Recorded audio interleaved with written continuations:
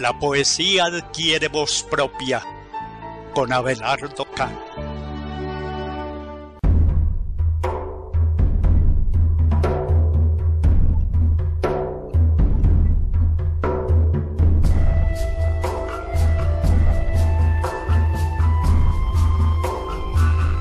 Mis primeras décimas espinetas. Abelardo Cano.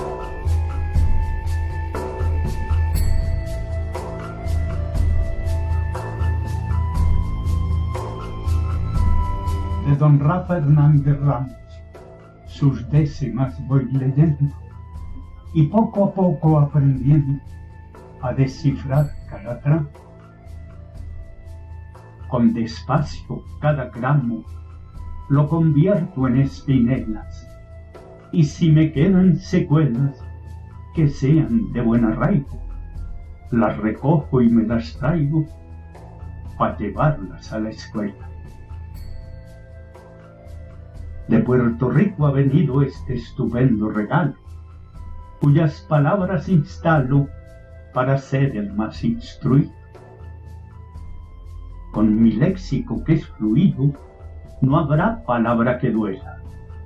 De jinete y con espuelas voy galopando con rimas para llegar a las tarimas de toditas las escuelas. Al poeta que hoy requiera que incursione en espinelas, que recuerde a sus abuelas con el amor que les diera a lo mejor yo pudiera rememorar la zarzuela, que de niño en la plazuela escuchaba muy atento y luego seguir contento a cantar en toda escuela.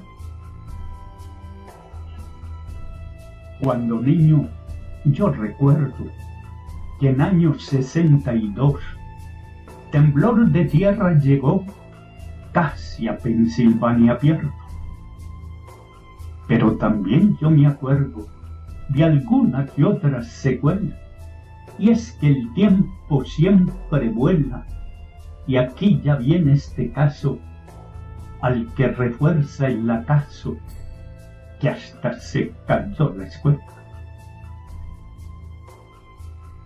Cuando yo empecé a estudiar, lo hice en lo que hoy es jardín, y poco a poco aprendí letras para tertuliar.